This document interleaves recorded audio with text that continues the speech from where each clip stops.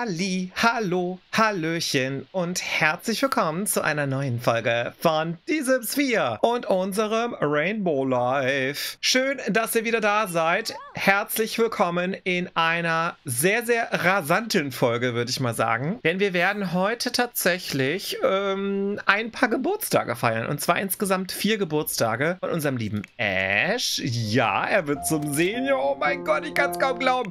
Und von unserem lieben Jules. Er wird auch zum Senior. Er backt gerade so ein paar Kuchen. Da fällt mir gerade ein, bevor hier jemand Kuchen stibitzt, hier mal bitte die Geburtstagskerzen hinzufügen. Das fände ich irgendwie ziemlich nice. Von unserem lieben Steven, der wird nämlich heute zum Teenager, macht gerade noch seine Hausaufgaben. Und die liebe Vanessa, die gerade noch in der Schule ist, die wird zum jungen Erwachsenen und geht studieren. Mit ihr wollten wir auch tatsächlich noch ein paar Dinge für unser Studium vorbereiten. Beim letzten Mal sind wir mit der Rakete ins Weltall gereist. Wir haben einige, ja, allgemeine Erfolge auch erzielt mit der lieben Familie. Und ich bin sehr, sehr gespannt, wie die heutige Folge wird. Denn das ist die finale Folge vor dem neuen Accessoire-Pack, was es für die Sims geben wird. Nämlich lukrative Hobbyküche. Dieses Pack wird es nämlich ab Donnerstag 19 Uhr, soviel ich weiß, geben. Und wir werden mit dem lieben Steven zusammen, das habt ihr in der Community-Umfrage entschieden, die Kochfähigkeit leveln und einen eigenen Foodstand gründen und bauen. Bin sehr, sehr gespannt auf das Gameplay. Das werden wir dann gemeinsam diese Woche am Samstag erkunden. Es wird großartig werden. Und ich habe jetzt hier schon mal den lieben Jules losgeschickt, ein bisschen Kuchen zu backen. Äh, Brad, wir können jetzt nicht. Denn ich würde sehr gerne alle Kuchen fertig haben für den Geburtstag. Ja, es gibt für jeden einen eigenen Kuchen. Diesen Luxus gönne ich mir, Leute. Wenn ich schon vier Sims altern lasse, dann kriegt jeder den eigenen Kuchen. Ich weiß auch nicht, also das sieht für mich auch direkt schon wieder nach komplett Diabetes aus, muss man ganz ehrlich sagen. Aber am Ende, es geht, es geht um die Geste, Leute. Ich weiß nicht, wie lange wir dann von diesem Kuchen leben werden. Es ist auf jeden Fall richtig wild. Können wir bei der Geburtstagsfeier, die wir planen, können wir da eine Uhrzeit angeben? Lass mal ganz kurz schauen. Aktuell sieht es ein bisschen rainy draußen aus. Ich weiß gar nicht warum. Die haben Sonne angesagt am Freitag. Okay, wir können leider keine Uhrzeit wählen. Das ist aber ein bisschen nervig, oder Leute? Das ist ja richtig blöd. Okay, das heißt also, wir haben heute im Laufe des Tages Zeit, oder wir haben heute am Nachmittag noch Zeit, alles vorzubereiten. Ich bin gerade ein bisschen verwirrt, weil es soll eigentlich, es soll Frühling sein natürlich, aber es soll sonnig sein. Es ist auch total weird, weil ich habe ein paar Sachen für den Geburtstag vorbereitet. Wie ihr seht, ihr lieben süßen Mäuse, habe ich hier auch ein paar Ballons hingetan und ein paar Girlanden aufgehangen. Ich fand das irgendwie ganz cool, wenn wir das Haus schmücken. Ich habe auch hier hinten im Garten ein bisschen was vorbereitet. Hier haben wir auch nochmal Ballons. Hier haben wir nochmal Girlanden. Hier auch auf der Seite haben wir die Girlanden. Ich habe ein paar Ballons, so einzelne Ballons auch aufgehangen. Und was ich richtig cool finde, ist diese neue Area hier. Weil diese Area ermöglicht es uns, hier auch gemeinsam zu grillen. Das können wir dann hier machen. Das ist nämlich der neue Grill aus dem Ranch oder beziehungsweise aus dem Pferderanch Erweiterungspack. Und wir haben hier auch noch einen Buffettisch mit einem, ich denke mal, Schokobrunnen. Also das können wir uns auswählen. Fruchtpunsch, Karamell, Käse oder Schokolade. Cool. Allerdings ist das Wetter gerade so ein bisschen ungünstig. Oh no, der liebe Ash will nochmal zum Grab von der lieben Sahnetörtchen gehen. Das ist ja richtig sad. Unbändige Klassenkameraden. Vielleicht ist Unterrichten nicht der richtige Beruf für Vanessa. Ja, dann ist es ja richtig gut, dass du kein Lehrer bist. Es ist auch schön mit diesem Moodlet. Also es soll eigentlich Sonne sein, wie ihr seht. Es soll warm sein, aber es soll regnen. Äh, ist es, äh, ich bin ein bisschen verwirrt, um ehrlich zu sein. Okay, ich reise mal ganz kurz mit der lieben Vanessa in die Nachbarschaft. Vielleicht ist es irgendwie ein Bug oder so. Ich guck mal, ich reise da mal ganz kurz alleine hin und schaue, wenn ich zurück zu unserem Grundstück reise, ob dann das Wetter korrekt ist. Bis gleich! Na, das sieht doch viel, viel besser aus hier. Genau. Ich glaube, die Vorhersage sagt jetzt auch irgendwie Regen an. Ich bin ein bisschen verwirrt von dem Spiel, weil als wir in der letzten Episode geschaut haben, war Sonne angesagt. Jetzt ist hier Regen. Okay, das Wetter kann sich ändern. Fein für mich. Aber es war Freitagmorgen, als ich aus dem Spiel raus bin. Und jetzt hatten wir irgendwie 12 Uhr, als ich die Aufnahme gestartet habe. Es ist mega strange, es ist mega wild, aber ich meine, es ist auch das Rainbow Life, ne? Und am Ende ist es halt auch Sims. Wir haben hier einen Matcha-Kuchen, wir haben einen Hamburger Kuchen, wir haben eine weiße Torte und wir haben eine Schokotorte. Das ist doch perfekt. Vielleicht können wir hier hinten in die Area den Kuchen auch auf ein Buffet stellen. Lass mich mal ganz kurz das noch platzieren. So, ihr lieben süßen Mäuse, wenn das nicht ein cooles Kuchenbuffet ist, Leute. Also das sieht ja mal mega nice aus. Ich habe, wie gesagt, hier draußen alles geschmückt. Ich habe alles hergerichtet. Ich glaube, dass wir hier tatsächlich auch schon ein bisschen Popmusik anmachen können, damit wir schon mal für Partystimmung sorgen. Und dann würde ich tatsächlich sagen, laden wir jetzt zu unserem Geburtstag ein. Ich kann es kaum. Oh mein Gott, es ist einfach so wild. Ähm, lass mal ganz kurz schauen. Okay, wir wollen eine Geburtstagsparty. Die Geburtstagskinder sind alle, ihr süßen Mäuse. Und jetzt brauchen wir Gäste. So, ich habe insgesamt 19 Gäste. Ich glaube, ich habe keinen der Bekannten von unseren Sims vergessen. Ich glaube es nicht. Wir feiern in der Fleming Residenz auf jeden Fall. Und es geht jetzt los. Oh mein Gott, ich bin so aufgeregt, Leute. Oh mein Gott, das wird einfach so wild. Das wird einfach unglaublich wild. Oh mein Gott, du hast dich, ähm, was, was ist das für eine Klamotte? Ash, was ist das für eine Klamotte? Okay, ich muss die Musik doch leiser machen. Okay, was ist das für eine Klamotte, Leute? Okay, kannst du, lieber Ash, wenn du schon mal hier bist, hier das Essen servieren, und zwar alles. Und den Brunnen füllen wir mal mit Fruchtpunsch. Dann haben wir auch was zu trinken. Nein, wir nehmen heute Urlaub, süße Maus, weil wir heute nicht arbeiten gehen. Wir gucken mal. Urlaubstag nehmen Entertainer können wir gleich mal machen. Wie sieht's hier drüben aus? Sind die ersten Gäste schon da? Hallo, ihr sind die ersten Gäste auch schon. Oh mein Gott, ich bin so aufgeregt, Leute. Leute. Okay, wir haben Cassandra hier. Wir haben den Brand hier. Hm, wir können hier nochmal ein freundliches Gespräch führen. Und wir können uns auch mal vorstellen. Oh mein Gott, äh, ist das, ist das? Genau, das ist Aneta. Hm, Aneta ist ziemlich sauer. Wir können hier respektvoll vorstellen. Kommt der Rest, glaube ich, noch, oder? Hier kommen auch die Kids. Du musst dich ein bisschen um deine Gäste kümmern, lieber Steven. Oh mein Gott, das artet richtig in, in richtige Arbeit aus, ne? Hm, lass uns mal gucken, dass wir mit den anderen Kindern ein bisschen Hüpfekästchen spielen. Das sollte funktionieren. Hier ist auch jemand sauer gerade. Oh, wie süß. Schaut mal. Der liebe Jaden ist auch da. Ash, dann kannst du dich doch sicherlich mit dem lieben Jaden unterhalten und hier ein paar freundliche Gespräche führen. Wie sieht's bei dir aus, liebste Vanessa? Du bist in deinem Büro. Du gehst mal nicht in dein Büro, süße Maus, sondern du guckst mal, wo deine Freunde sind. Ähm, sind die hier irgendwo? Warte mal, habe ich die irgendwie verpasst, meine Freunde? Ich habe doch auch die Teenager eingeladen. Wo sind die ganzen Teenager? Ey, was ist doch, das ist ja mega wild. Warum sind die nicht hier? Vielleicht können wir sie anrufen anrufen und fragen, ob sie hier abhängen wollen. Einladen, auf dem aktuellen Grundstück abzuhängen. Wir haben sie aber definitiv eingeladen, das weiß ich. Auf geht's, ihr süßen Mäuse!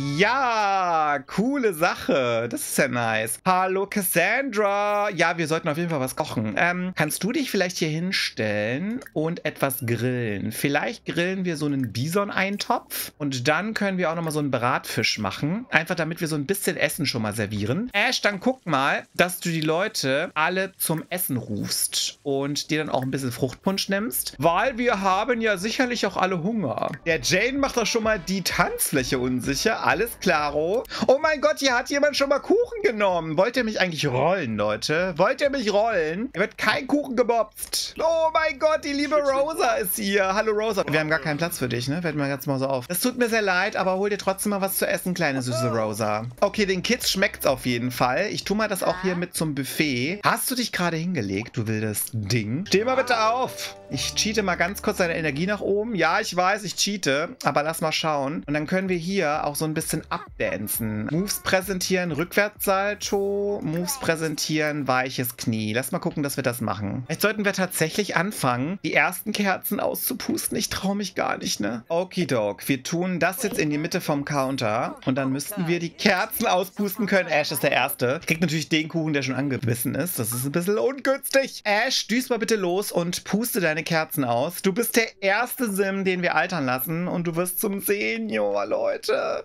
Zum Senior. Das ist einfach traurig. Können wir bitte die letzten Minuten noch ein bisschen genießen, solange Ash einfach noch erwachsener ist? Happy Birthday! Happy Birthday to you. Happy Birthday to you. Dann blas mal die Kerzen aus, süße Maus. Ja! Okay, er hat es nicht geschafft. Sein Atem ist auf jeden Fall auch schon mitgenommen. Ja! Jetzt, jetzt lassen wir uns überraschen.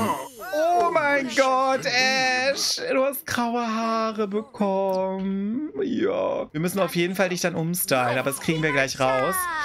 Süßer Jules, du bist der Nächste mit der weißen Torte. Puste bitte die Kerzen aus, du wirst zum Senior. Oh mein Gott, guckt euch das Bild da unten an. Er hat voll die grauen Haare bekommen. Aber er ist niedlich. Happy Birthday! Woo!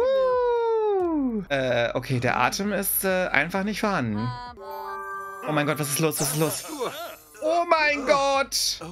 Er sieht richtig alt aus, aber niedlich. Wir werden ihn auf jeden Fall auch umstylen können. Ach, wie schön. Okay, dann kommt jetzt die liebe, süße Vanessa. Vanessa ist die nächste, die die Kerzen auspustet. Happy Birthday, süße Maus. Hier wird ein bisschen irgendwie Action gemacht. Ja, du bist junge Erwachsene. Gigi, eine richtig tolle Maus bist du. Oh mein Gott, dein ganzes Leben liegt vor dir. Oh mein Gott, es ist so cool. Ja! Woo!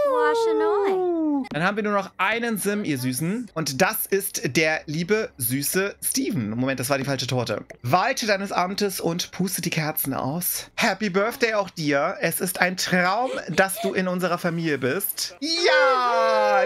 Lieber süßer Steven. Woo! Äh, okay. Ja, ja. Ich würde sagen, hier haben wir einiges zu tun mit dem Umstyling. Wir gehen jetzt in den Creatism und wir starten mit dem Umstyling. Und ich bin sehr, sehr gespannt. Lasst euch überraschen. Ich beschleunige das Video an dieser Stelle und wir schauen uns die Sims nach dem Umstyling an. Bis gleich!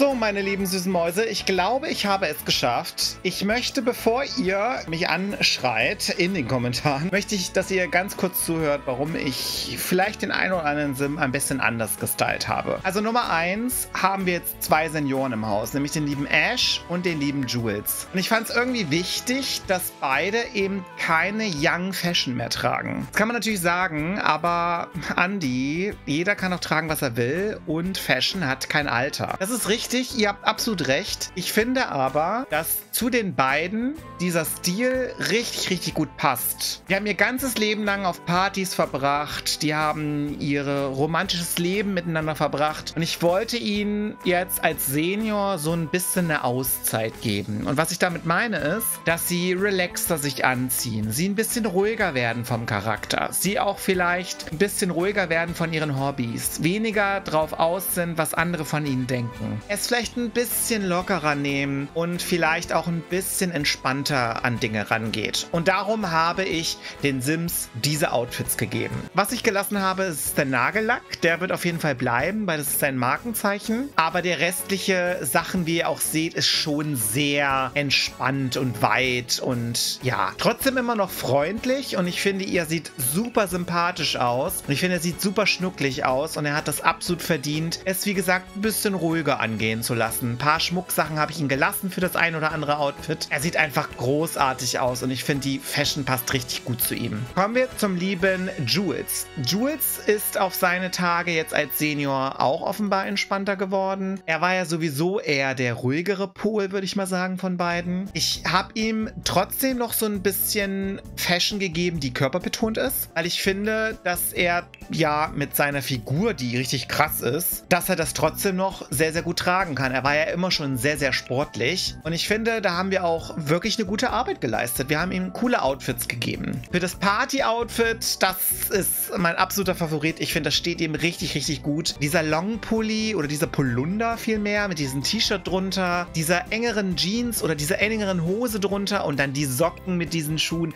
Ich finde, das sieht cool aus. Ihr könnt sagen, was ihr wollt. Er gefällt mir richtig gut, so wie er ist. Badekleidung auch. Richtig, richtig süß. Da kommt auch die Farbe Gelb immer wieder zum Ausdruck. Das ist halt auch typisch, ne? Also ich fand das, ich finde, das passt einfach richtig gut zu ihm. Und auch das Winter-Outfit, mein absolutes Highlight mit dieser Mütze. Er sieht so süß aus. Kommen wir zum lieben Steven. Steven ist äh, gorgeous, würde ich sagen. Er ist wirklich so ein hübscher Mann und ich habe ein paar Kleinigkeiten verändert, aber auch nur, weil das sonst ein bisschen weird gewesen wäre. Und zwar hatte der liebe Steven ein, eine falsche Augenfarbe. Er hat ja grün und blau. Das habe ich korrigiert und er hatte kein Kinn. Er hatte einfach kein Kinn. Ich musste ihm ein Kinn modellieren. Ich habe den Mund ein bisschen nach oben genommen und das Kinn modelliert. Tut mir leid, wenn ich da eingreifen musste in die Genetik. Wir gucken mal mit seinem, ich sag mal, Charakter, der sich jetzt noch entwickelt, ob wir ihm noch Schmuck geben oder was anderes. Für das Bestreben sollten wir auf jeden Fall, lass uns mal kurz, kurz gucken, sollten wir auf jeden Fall das Richtige rauswählen. Und zwar Food, genau. Und dann Meisterkoch. Als Mainfarbe habe ich ihm Blau und ein paar Grünakzente gegeben. Grün war ja seine Lieblingsfarbe. Ich habe ja, wie gesagt, Blau so ein bisschen eher rausstechen lassen. Das liegt aber auch daran, weil er jetzt erwachsen geworden ist. Das Blau ist so ein bisschen, ja, bodenständiger, fand ich. Und das steht ihm halt auch richtig, richtig gut. Ähm, ja, genau, deswegen habe ich ihm das so ausgewählt. Er hat auch ein bisschen weitere Hosen und tatsächlich muss ich sagen, bin ich hier aus meiner Komfortzone rausgekommen. Ich habe ihm mal Klamotten gegeben, die ich Sims so nicht geben würde normalerweise. Also normalerweise tragen meine Männer schon sehr oft Skinny Jeans, hochgekrempelte Jeans und vor allem auch Klamotten, die körperbetont sind. Und ich habe sehr oft, wie zum Beispiel auch hier, auch mal Klamotten gegeben, die nicht so ganz mein Stil sind. Ich muss mal ganz kurz gucken. Das ist gar nicht eigentlich mein Stil für andere Sims, aber ich fand das irgendwie passend, weil er ist halt auch ein relaxter, cooler Typ. Da der liebe Steven älter geworden ist, hat er ein neues Bestreben bekommen und er hat auch neue Merkmale bekommen. Korrekt und tanzwütig ist der liebe Schatz. Das finde ich sehr interessant, um ehrlich zu sein. Ich weiß gar nicht, ob tanzwütig zu ihm passt. Ich denke mal, dass das vererbt wurde. Oh. Ich weiß gar nicht, ob wir ihm nicht statt distanzwütig eher ein anderes Merkmal geben können. Lass mir ganz kurz gucken. Und zwar Genießer. Schreibt mir mal bitte in die Kommentare Nummer eins, wie ihr das Umstyling findet von den Sims, ob wir das so lassen können oder ob ihr eine andere Idee habt. Und Nummer zwei, ob wir ihm das Genießer-Merkmal geben wollen. Ich freue mich über euer Feedback und ich würde sagen, wir düsen jetzt zurück in den Live-Modus. Hallöchen, ihr lieben süßen Mäuse. Oh mein Gott, es ist schon so spät, ihr lieben Süßen. Ich weiß gar nicht, ob ich jetzt mit dem lieben Ash in Rente gehen will, weil ich meine, er tritt ja auch eigentlich nicht mehr als oh. Drag Queen auf, Leute. Hier haben wir Aufhören. Ich glaube, dass wir ihn in Rente schicken. Es tut mir in der Seele weh, das meine ich ernst, aber ich glaube, dass es richtig ist. Bist du sicher, dass Ash in Rente gehen soll? Wenn er in Rente geht, erhält er jeden Tag eine Zahlung basierend auf seinen derzeitigen Stundenlohn. Es tut mir so weh in der Seele, wirklich. Es, er ist einfach, er ist einfach die Drag Queen. Es ist einfach so. Es ist die richtige Entscheidung und ich glaube, dass es gut ist für ihn. Was den lieben Jules allerdings angeht, der liebe Jules ist ja jemand, der sehr, sehr gerne arbeitet. Und ich kann mir vorstellen, dass er weiterhin auch als Artist bzw. als Künstler arbeiten wird. Deswegen lassen wir ihm diesen Job auch noch bestehen. Liebe süße Vanessa, wie siehst du denn aus? Wir müssen auf jeden Fall mit dir auch nochmal in die verschiedenen Stipendienbescheide schauen. Denn wir haben beim letzten Mal die Bescheide bekommen. Wir wissen nicht, ob wir das Stipendium oder eines der Stipendien Stipendien bekommen haben. Und wir wollen uns auch einschreiben für den einen oder anderen Kurs. Das machen wir auch heute noch tatsächlich, ihr Süßen. Glückwunsch, Vanessa hat das Aufbau der Zukunftsstipendium im Wert von 400 Simoleons erhalten. Cool. Glückwunsch, Vanessa hat das Bewohnerin von San Sequoia Stipendium erhalten. Geil. Und es tut uns leid, dir mitteilen zu müssen, dass das zukünftige Star-Stipendium nicht zugesprochen wurde. A shame, aber wir haben all den Rest geschafft und ich würde sagen, das ist doch wunder wunderbar. Wir beenden jetzt die Party. Es ist gleich Mitternacht, ihr süßen Mäuse. Wir hatten eine richtig, richtig coole Geburtstagsparty und konnten tatsächlich alles genießen. Jetzt müssen wir natürlich nur schauen, dass wir hier alles aufräumen. Oh mein Gott, das sieht ja alles wild aus. Ach, du süße Maus. Wir müssen auch mal gucken, dass wir das Zimmer von dir nochmal umgestalten. Das mache ich, glaube ich, off-cam bis zum nächsten Mal. Da werde ich einfach nur ein paar Farben ändern und vielleicht ein anderes Bett reinstellen und die Spielzeugkiste wegmachen. Also ich werde so ein paar Dinge anpassen. Bei der lieben, süßen Vanessa das gleiche. Das werde ich auch off-cam machen. Ich glaube, dass das sonst zu viel ist, Leute. Das, das schaffe ich nicht in irgendeinem Video. Und in der nächsten Folge, darauf möchte ich jetzt nochmal ausdrücklich hinweisen, geht es ja schon ins neue Pack. Wir schauen uns ja schon mit dem lieben Steven zusammen lukrative Hobbyküche an. Das heißt, dass wir da schon mal die ersten neuen Rezepte kennenlernen, dass wir uns das Base Game Update ansehen, was übrigens am Dienstag kam. Ich nehme, by the way, vor diesem Base Game Update hier auf, das Video. Deswegen sind die neuen Sachen noch nicht im Spiel. Ich würde sagen, wir können uns doch bestimmt einschreiben an der Uni, oder? Können wir das machen? Ich glaube, wir gehen auf das Hawkesbury-Institut, weil hier gibt es auch die Bot-Gelernten. Ich fände es irgendwie ganz nice, wenn wir uns auch mit den Bot-Gelernten ja anfreunden würden. Das machen wir. Also Physik fände ich schon ziemlich nice, wegen dem Maschinenbauingenieur. Ich weiß, dass wir sechs Kurse absolvieren müssen, weil ich eine Mod im Spiel habe. Ich habe mir überlegt, dass wir immer drei Kurse auf einmal machen. Das heißt, dass wir zwei Sims-Wochen an der Uni sozusagen uns einschreiben. Ich mache jetzt mal diese Entscheidung, Leute, weil ich das ja ganz cool finde. Und ich würde auch sagen, dass wir von zu Hause aus studieren. Oh mein Gott, wir bekommen ein Vollstipendium. Und das heißt, wir müssen gar nichts für unser Studium bezahlen, obwohl wir so viel Money haben in der Haushaltskasse. Holy moly, ich bin so aufgeregt, ihr süßen Mäuse. Und tatsächlich, oh mein Gott, ja stimmt, wir hatten ja den Wunsch, dass wir uns in Physik eintragen. Vielen lieben Dank für die Aufmerksamkeit. Dankeschön, dass ihr euch das Video angesehen habt. Dankeschön für alle Likes und Kommentare bei den bisherigen Folgen. Sehr gerne schreibt mir in die Kommentare, ob wir für den lieben Steven das Genießer-Merkmal hinterlegen sollen. Und schreibt mir gerne in die Kommentare, ob euch das Umstyling gefallen hat von allen Sims. Falls noch nicht geschehen, abonniert gerne meinen Kanal. Das ist kostenfrei und ihr supportet mich damit. Klickt die Glocke, ihr werdet informiert dann, wenn ein neues Video live geht. Habt einen wunderschönen Tag. Wir sehen uns beim nächsten Mal wieder bei unserem Rainbow Live und mit dem neuen Pack, ihr süßen Mäuse. Bis zum Samstag. Bis dahin. Bye.